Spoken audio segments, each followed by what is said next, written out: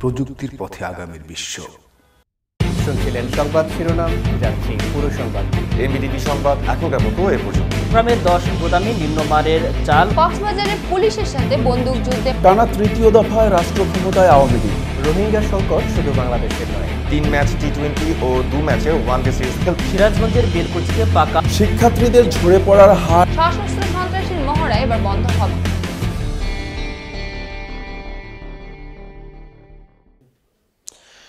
দর্শক, এমবি টেলিভিশনের পক্ষ থেকে আমি আব্দুল খালের নানু জানাচ্ছি আপনাদের সাদর আমন্ত্রণ। দর্শক, আপনারা দেখতে পাচ্ছেন, আমরা এখন সৌজন্য সাক্ষাৎ করব বাংলাদেশ আওয়ামী লীগ রায়গঞ্জ, তারাস, সলঙ্গা, সিরাজগঞ্জ আসন চৌষট্টি তিনের সাবেক সংসদ সদস্য মম আমজাদ হোসেন মিলন। আমরা তার সাথে এখন একটু সৌজন্য কথা বলব এবং এই সৌজন্য আমরা সাক্ষাতে এসেছি। এবং কথা হচ্ছে যে রায়গঞ্জ তা- তারাস উপজেলার আহ, সম্মেলনে সদ্য বিজয়ী সভাপতি নির্বাচিত হয়েছেন। আমরা এখন তার সাথে সৌজন্য কথা বলতে যাচ্ছি। জনাব আমজাদ হোসেন মিলন সাহেব আপনি যদি এবারের নির্বাচন নিয়ে তারাস রায়গঞ্জ তারাস সহ আপনাদের আপনার সংসদীয় আসন সহ সিরাজগঞ্জবাসীর উদ্দেশ্যে যদি কিছু বলেন। আমি বীর মুক্তিযোদ্ধা মামা আমজাদ হোসেন মিলন। সাবেক জাতীয় সংসদ সদস্য চৌষট্টি সিরাজগঞ্জ তিন এবং নবনির্বাচিত সভাপতি তারাস উপজেলা আওয়ামী লীগ। আমি রায়গঞ্জ তারাস সলঙ্গা সহ সিরাজগঞ্জবাসীর প্রতি আমি অবনত মস্তকে আমি তাদেরকে শ্রদ্ধা জানাই। পাশাপাশি মাননীয় প্রধানমন্ত্রী জননেত্রী শেখ হাসিনার আমি শত শত কোটি সালাম জানাই। পাশাপাশি আমি জাতির জনক বঙ্গবন্ধু শেখ মুজিবুর রহমান সহ পনেরোই আগস্টে যারা নিহত হয়েছে তাদের প্রতি আমি শ্রদ্ধা নিবেদন করি। আমি শ্রদ্ধা নিবেদন করি জাতীয় চারি নেতা কারার অভ্যন্তরে দেশের সকল আইন ভঙ্গ করে ইতিহাসকে কলঙ্কিত করে চারজনকে হত্যা করেছে, তাদেরকে স্মরণ করছি। স্মরণ করছি আমি একজন মুক্তিযোদ্ধা হিসাবে যুদ্ধকালীন সময়ে। তিরিশ লক্ষ মানুষ শহীদ হয়েছে, দুই লক্ষ মা বোন সম্ভ্রম হারা হয়েছে, তাদেরকে আমি স্মরণ করছি। স্মরণ করছি বিভিন্ন আন্দোলন সংগ্রামে এবং মুক্তিযুদ্ধে যে সকল শহীদান শহীদ হয়েছে, তাদের প্রতি আমি শ্রদ্ধা নিবেদন করে শুধু এইটুকু বলতে চাই যে আমার রাজনৈতিক জীবনে, ছাত্র জীবন থেকে রাজনীতি করে আসছি। আজকে রাজনীতির প্রকৃত যে ধারাবাহিকতা, প্রকৃত যারা আওয়ামী লীগের, তারা আজকে উপেক্ষিত, তারা আজকে লাঞ্ছিত। আজকে হাইব্রিড আওয়ামী লীগে প্রবেশ করে ঘুরে আজকে ভরে গেছে। আমি রাজনীতি করেছি, স্নেহ পেয়েছি ক্যাপ্টেন মনসুর আলীর। মোহাম্মদ মরহুম নাসিমের সঙ্গে রাজনীতি করেছি। মোধার মোধার হোসেন তালুকদার প্রবীণ নেতা। মোধার হোসেন তালুকদার, আব্দুল মমিন তালুকদার, আব্দুল লতিফ মির্জা এবং আমির হোসেন ভুলু, আমিনুল ইসলাম চৌধুরী এদিন এনাদের সাথে রাজনীতি করেছি। রাজনীতি করেছি অ্যাডভোকেট হাসান সাহেব সাথে রাজনীতি করেছি, সূর্য সাহেবের সাথে এখনও করছি। রাজনীতি করছি, আমি অ্যাডভোকেট আব্দুর রহমানের সঙ্গে, বিভিন্ন জনের সঙ্গে রাজনীতি করেছি। আমার বয়সের এখন রাজনীতি, সক্রিয় রাজনীতিতে মাত্র কয়েকজন আছে, মূল আওয়ামী লীগ ধারার রাজনীতিতে। আমি আছি, আবু ইউসুফ সূর্য সাহেব আছেন, হাসান সাহেব আছেন বা আরও দুই চারজন আছেন মূল রাজনীতির ধারায়, আওয়ামী লীগের ধারায়। তা আমি এই সম্মান আমি দুইবার যুদ্ধ থেকে ফিরে এসে দুইবার মাগুরা বিনোদ ইউনিয়ন পরিষদের চেয়ারম্যান নির্বাচিত হই, একবার বিনা প্রতিদ্বন্দ্বিতায়। আওয়ামী লীগের টিকিটে আমি দুইবার উপজেলা চেয়ারম্যান নির্বাচিত হয়েছি, বিপুল ভোটের ব্যবধানে। তারপরে মাননীয় প্রধানমন্ত্রী জননেত্রী শেখ হাসিনা আমাকে নির্বাচনে মনোনয়ন দিয়ে আমাকে এমপি বানিয়েছেন। তার প্রতি আমি গভীর শ্রদ্ধা জানাই। তা এই বয়সে আমি রাজনীতিতে গিয়ে, এই সভাপতিতে দাঁড়িয়েছি শুধু একটি মাত্র কারণে। আপনারা দেখেছেন যে সিরাজগঞ্জের রাজনীতির কি অবস্থা। শুধু রক্তের হোলি খেলা হয়েছে সিরাজগঞ্জে। আত্মীয়করণ করা হয়েছে। সিরাজগঞ্জে আওয়ামী লীগকে বিভিন্ন দ্বিধা বিভক্ত করা হয়েছে এবং জেলা থেকে থানা পর্যায় পর্যন্ত, ইউনিয়ন পর্যায় পর্যন্ত আওয়ামী লীগকে দ্বিধা বিভক্ত করে ফেলছে। মাননীয় প্রধানমন্ত্রী বিচক্ষণতার সাথে এইটাকে পরিহার করে মাননীয় প্রধানমন্ত্রী সঠিক সিদ্ধান্ত নিয়ে আজকে সিরাজগঞ্জ জেলা আওয়ামী লীগের আজকে পরিবর্তন আনার জন্য উনি যে পদক্ষেপ নিয়েছেন, সে পদক্ষেপকে আমি স্বাগত জানাই। আমার বক্তব্য হলো সিরাজগঞ্জ জেলাবাসীর প্রতি তারাস রায়গঞ্জ সলঙ্গাবাসীর প্রতি।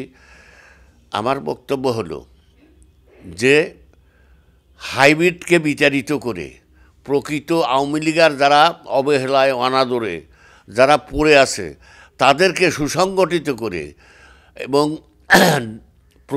প্রবীণ এবং নবীনদের সমন্বয়ে এমনভাবে রাজনীতি করা হোক বা রাজনীতি করব, এই চিন্তা ভাবনাই আমি সভাপতির দাঁড়িয়েছিলাম যে যাতে করে বঙ্গবন্ধুর সেই আদর্শ, বঙ্গবন্ধুর ফেলে দেওয়া যে রাজ, যে কর্মকাণ্ডগুলো, সেগুলো যেন মাননীয় প্রধানমন্ত্রী জননেত্রী শেখ হাসিনার নেতৃত্বে আমরা সুসংগঠিত করতে পারি। কেননা আজকে বিভিন্ন চক্রান্ত চলছে। আওয়ামী লীগকে ধ্বংস করার জন্য বিভিন্ন চক্রান্ত করছে। মোস্তাকের মতো বেইমান এখনও এই আওয়ামী লীগের কাছে ঘুরঘুর করতেছে। এগুলো আমাদের, প্রকৃত আওয়ামী লীগারদের সতর্ক থাকতে হবে। আজকে এত কেলেঙ্কারি হচ্ছে অমুকের এই মানে কি রিক্সা চালানোর ছেলেরা। আজকে যারা রিক্সা চালাচ্ছে তারা আজকে অনেকেই হাজার হাজার কোটি টাকার মানুষ।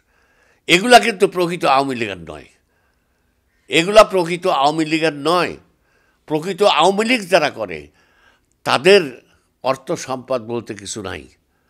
তারা শুধু দলই করে গেছে, আওয়ামী লীগই করে গেছে, দলের দলকে সুসংগঠিত করে গেছে, কিন্তু তারা অর্থের প্রতি কোনো দিন তাকায় নাই।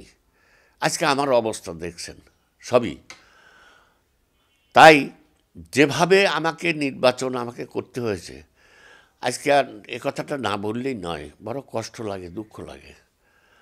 দুঃখ লাগে কি? আজকে আটচল্লিশটা বৎসর এই আওয়ামী লীগকে আমি তারা সে ধরে রাখছি। আওয়ামী লীগে দাঁড়িয়েছিলাম প্রার্থী হিসাবে। সেটা আওয়ামী লীগেরদের পরামর্শক্রমেই যে তা প্রার্থী হতে হবে দলকে, আবার মূল ধারায় ফিরে নিয়ে আসতে হবে, তোমাকে দাঁড়াইতে হবে। এই কারণে আমি দাঁড়িয়েছিলাম। তা আমি জানি না যে আমাদের মাননীয় জাতীয় সংসদ সদস্য মহোদয় উনি ভালো মানুষ। উনি আমার ছোট ভাই সম্পর্কে। তাক দিয়ে আমি ছাত্র রাজনীতি করাইছি।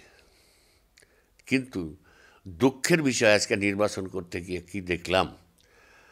দেখলাম যে উনি আমার বিরোধী পক্ষকে নিয়ে যেগুলো করছেন, যা করেছেন, ওনার স্ত্রীকে দিয়ে যা করেছেন এগুলা বলার ভাষা নাই।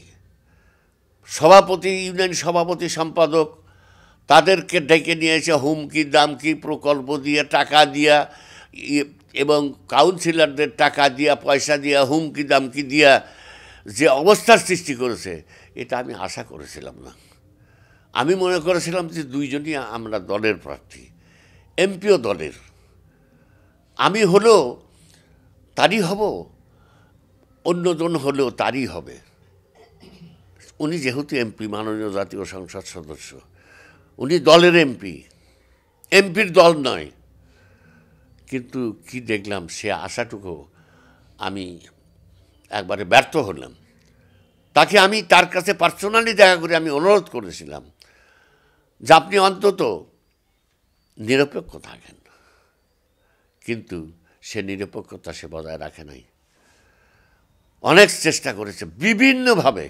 এবং যেভাবে আমার সম্পর্কে কুৎসা রটনা করেছে পত্র পত্রিকায় আমার সম্পর্কে যে ভাষায় যেভাবে লিখেছে, সেটা, এটা বলার কথা না। আমাকে এত অতিষ্ঠ করে ফেলেছে।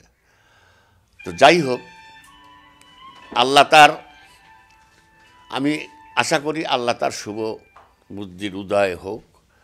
সবাই একসাথে রাজনীতি করি, সবাই সম্মিলিতভাবে দলকে সুসংগঠিত করি। দল যদি সুসংগঠিত না থাকে, জননেত্রীকে আমরা বাঁচাতে পারব না। যেভাবে ষড়যন্ত্র চলছে, আমাদের আজকে বাংলাদেশের প্রত্যেকটা উপজেলায়, ইউনিয়নে দলকে শক্তিশালী করে জননেত্রী শেখ হাসিনার হাতকে শক্তিশালী করতে হবে। কারণ দল যদি শক্তিশালী না হয়, আমি কেন কেউই এই সম্মানটুকু পাবে না এবং আমাদের কোথায় পালাবো রাস্তা খুঁজে পাবো না। কাজেই সবারই ঐক্যবদ্ধ হয়ে যে যাই ভুল ভ্রান্তি করে থাকি আর থাকুক, সব কিছু পরিহার করে এক কাতারে সব আসতে হবে এবং আওয়ামী লীগকে বাঁচাইতে হবে, জননেত্রী শেখ হাসিনাকে বাঁচাইতে হবে, দলকে বাঁচাইতে হবে। এটাই হলো আমার মুখ্য উদ্দেশ্য। তাই আমি মনে করি যে আজকে নাসিম সাহেব নাই। আজকে আমরা সিরাজগঞ্জের নেতৃত্ব হারা কাজেই আজকে আমি শুধু সিরাজগঞ্জবাসীকে বলব, আওয়ামী লীগ, যুবলীগ, কৃষক লীগ, শ্রমিক লীগ, স্বেচ্ছাসেবক লীগ, মহিলা আওয়ামী লীগ, যত লীগ আছে, শ্রমিক লীগ, সবাইকে আমি অনুরোধ করব যে দ্বিধাদ্বন্দ্ব সব ভুলে যান। সিরাজগঞ্জকে আমরা বাঁচাই। সিরাজগঞ্জকে বাঁচায়া সত্যিকারভাবে সেই নাসিম সাহেবের জীবদ্দশায় যেভাবে দলটা পরিচালিত হতো, সেইভাবে পরিচালিত করে জননেত্রী শেখ হাসিনাকে একটা আদর্শ জেলা, আদর্শ আওয়ামী লীগের সংগঠন হিসেবে আমরা যাতে তার হাতে তুলে দিতে পারি, তাকে আমরা চতুর্দিক ঘিরে তাকে আমরা রক্ষা করতে পারি, তার স্বপ্নদানে বাস্তবায়ন করতে পারি, তার আদেশ নির্দেশ যেন আমরা পালন করতে পারি এটাই আমাদের মুখ্য উদ্দেশ্য হবে, তাই আমি দেশ, তারা সিরাজগঞ্জবাসীর প্রতি আমি অনুরোধ রাখব। কারণ শেখ হাসিনা আছে, আমরা আছি। শেখ হাসিনা আজ নাই, কারোর অস্তিত্ব থাকবে না। কাজেই সব কিছু পরিহার করে আজকে সিরাজগঞ্জের কি কলঙ্ক, কি রক্তক্ষয়, এটা কষ্ট লাগে। আজ সিরাজগঞ্জ ডিস্ট্রিক্ট কত মনীষী এই সিরাজগঞ্জে জন্মগ্রহণ করেছে। সিরাজগঞ্জে জন্মগ্রহণ করছে, রাজনীতির ভিতরে যদি যান, সিরাজগঞ্জ জন্মগ্রহণ করছে ক্যাপ্টেন মনসুর আলী। ভাষানির বাড়িও সিরাজগঞ্জে, জন্মগ্রহণ করেছে সিরাজগঞ্জে। আব্দুর রশিদ তর্ক বাগিসের সিরাজগঞ্জ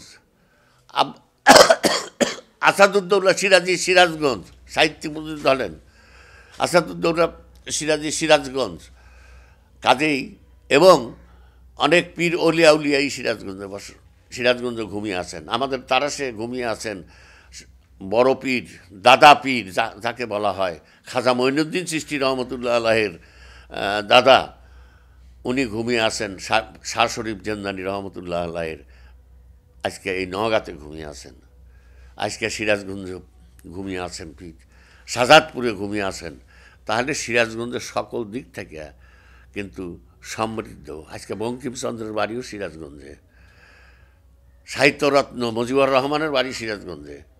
কাজে এই যে মনীষীগুলো সিরাজগঞ্জের, কাজেই সিরাজগঞ্জের মান যাতে রক্ষা হয়, আওয়ামী লীগের সকল নেতা কর্মীকে সিরাজগঞ্জবাসীকে আমি অনুরোধ জানাব যে আমাদের এই ঐতিহ্য আমরা যাতে ধরে রাখতে পারি। আমার জীবনে চাওয়া আর কিছু নাই, আমার হারাইনেরও ভয় নাই। আমি যে যে কয়দিন বাঁচি, আমি জনগণের এবং দলের কাজ করে যাব। হ্যাঁ মুক্তিযুদ্ধের চেতনায় আপনি একজন বীর মুক্তিযোদ্ধা হিসাবে যদি দেশবাসীর উদ্দেশ্যে কিছু বলেন। আমি শুধু মুক্তিযোদ্ধা হিসাবে যোদ্ধাদের তাদের ভাতা দেবে। শুধু তাই কি? একজন মুক্তিযোদ্ধা হিসাবে এইটুকু গর্বে বুক ভরে দেয় যে মাননীয় প্রধানমন্ত্রী জননেত্রী শেখ হাসিনা আজকে বিধবা ভাতা বয়স্ক ভাতা মাতৃত্বকালীন ভাতা এগুলো সব জননেত্রী শেখ হাসিনার দেওয়া ফসল। সে এই দেশকে আজকে উন্নয়নের পথে নিয়ে যাচ্ছে।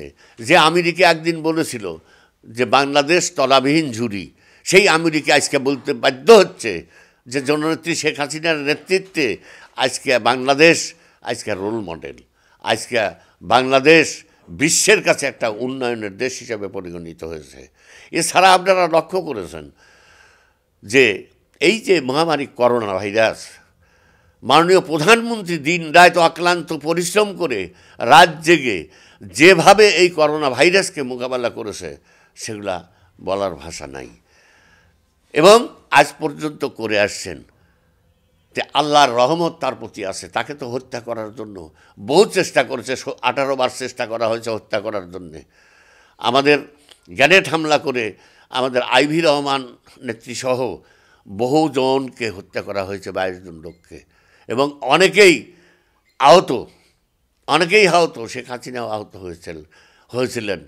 বাহাদুর নাসিম সাহেব আহত হয়েছিলেন, জাহাঙ্গীর কবির নানক আহত হয়েছিলেন। এভাবে অনেকেই, অনেকের শরীরে, আমাদের অবায়দুল কাদের সাহেব অনেকের শরীরে এখনও কিন্তু সেই বুলেটের ইয়ে ফিল্টার এখনও কিন্তু তাদের শরীরের মধ্যে আছে। এই নিয়ে তারা বেঁচে থেকে এই রাজনীতি করতেছে। তাহলে এই হাইব্রিডগুলো এসে যে এই আওয়ামী লীগকে নষ্ট করতেছে, এটা আমি মাননীয় প্রধানমন্ত্রী জননেত্রী শেখ হাসিনাকে আমি অনুরোধ করব যে আরও কঠোরের থেকে কঠোরতর হন। দেশকে বাঁচান, জনগণকে বাঁচান। তাহলে আমাদের দেশ আরও উন্নয়নের পথে এগিয়ে যাবে। আরও উন্নয়নের পথে এগিয়ে যাবে। আপনারা আমার আজকে সাক্ষাৎকার নিয়ে আস, নিতে আসছেন। আমি খুবই অসুস্থ, এই বৃদ্ধি বয়সে রাত দিন জেগে ক্যানভাস করে খুবই অসুস্থ হয়ে পড়ছি তবু আপনারা আসছেন, সাক্ষাৎকার নিলেন। আমি আপনাদের সবাইকে ধন্যবাদ জানাই। পাশাপাশি এমবি টিভিকেও অসংখ্য অসংখ্য ধন্যবাদ জানাই যে আপনারা আমার মতো ক্ষুদ্র মানুষের সাক্ষাৎকার নিতে আসছেন এই একটা প্রত্যন্ত অঞ্চলে। ধন্যবাদ সবাইকে।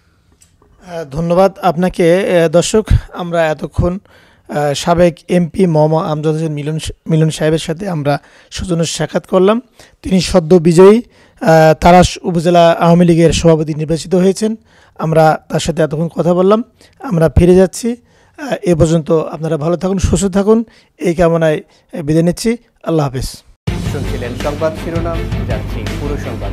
এমবিটিভি সংবাদ এখনকার মতো এ পর্যন্ত। চট্টগ্রামের দশ গুদামে নিম্নমানের চাল। কক্সবাজারে পুলিশের সাথে বন্দুকযুদ্ধে টানা তৃতীয় দফায় রাষ্ট্র ক্ষমতায় আওয়ামী লীগ। রোহিঙ্গা সংকট শুধু বাংলাদেশের নয়। তিন ম্যাচ টি টোয়েন্টি ও দু ম্যাচে ওয়ান ডে সিরিজ খেলছে সিরাজগঞ্জের বেলকুচিতে পাকা শিক্ষার্থীদের ঝরে পড়ার হার সশস্ত্র সন্ত্রাসীর মহড়া এবার বন্ধ হবে।